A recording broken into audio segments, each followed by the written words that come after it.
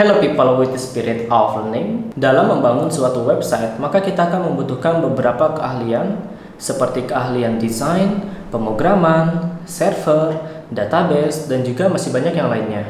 Tapi untungnya pada kelas ini saya akan membantu kalian untuk membangun suatu website dalam mengimplementasikan ide bisnis kalian tanpa harus menguasai keahlian khusus.